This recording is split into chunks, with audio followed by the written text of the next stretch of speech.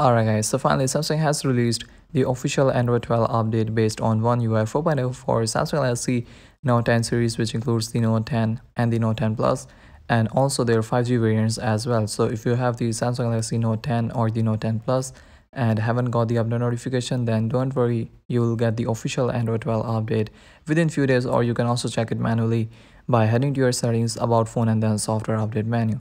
So right now I don't have the actual screenshot of the update but the update has this firmware number as you guys can see on the screen.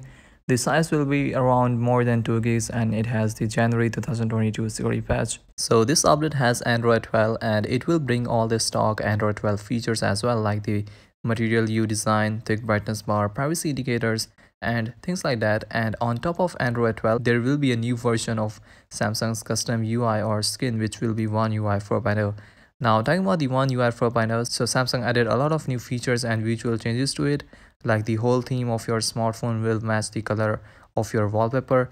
You get new widgets with rounded corners and with different sizes. Dark mode now also dims the app icons as well. There is a dim mode by which you can dim the display at night.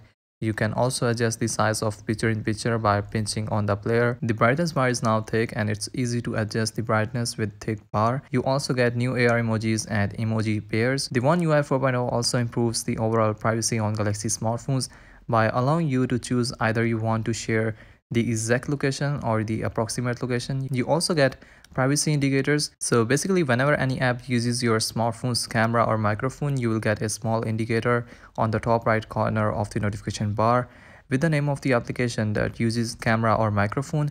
And yeah, definitely there will be a lot more changes and features in One UI 4.0. Now talking about the rollout, so this update is currently rolling out in Switzerland and in other European countries but in upcoming days it will definitely expand to other countries and regions as well. Samsung said that they have released the update for the Note 10 and the Note 10 Plus. Now, depending on where you live and what model you have, the update will take some time to reach your Galaxy Note 10 series smartphone. Now, in the official roadmap, Samsung mentioned that the Note 10 series will get the update in January. So, if you haven't got the update yet, then I think you will see the official Android 12 update with One UI 4.0 by the end of January 2022. So yeah, the update is officially out and soon your Galaxy Note 10 series smartphones will be running on the latest and the greatest Android 12 with One UI 4.0 on top. And yeah, that's pretty much it from my side. Give this video a thumbs up, subscribe to the channel for more further and future updates, and I will see you guys in the next one. Peace out.